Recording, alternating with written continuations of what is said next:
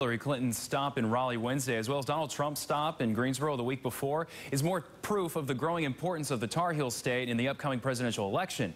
Today, CBS North Carolina morning anchor Russ Bowen spoke with Jonathan Kappler, the director of the state government relations at the University of North Carolina, on our state's role this November.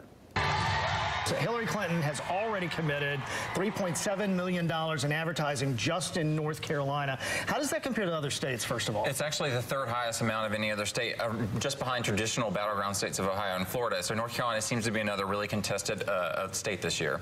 So do you think Donald Trump will be able to uh, catch up with her as far as spending in the state, and does he have to? Well, we'll see. He, in the primary campaign, he really focused on earned media, and so news coverage, and not so much on ads. But his fundraising has been lagging lagging. Uh, we're starting to see that pick up a little bit. But if he has the resources to compete with Clinton and her allies, that's yet to be seen. Well, I guess the question is, too, does he really need to? Because he really didn't need to in the primary, right? Right. Well, and that worked for him in the primary schedule, but in the general election phase of the campaign, it's yet to be seen. All right. So you know how that saying goes, where Ohio goes, so goes the nation. I've read a couple of articles that North Carolina is starting to fill that whole thing that we've seen with Ohio for decades. Right. Yeah. We are definitely a state to watch. Uh, the new, uh, new Florida, the new Ohio, we are a purple state, probably the closest divided state in the country. So the candidates spent a lot of time here the last two major election cycles. How, what sort of effect does that have on the local races? Right, absolutely. It can drive up turnout, interest in the election overall. And we've got other big elections all the way down to state legislator and legislature and local levels. And so it really matters if North Carolina is contested at the presidential level. And of course, voter ID has certainly been in the press a whole lot lately.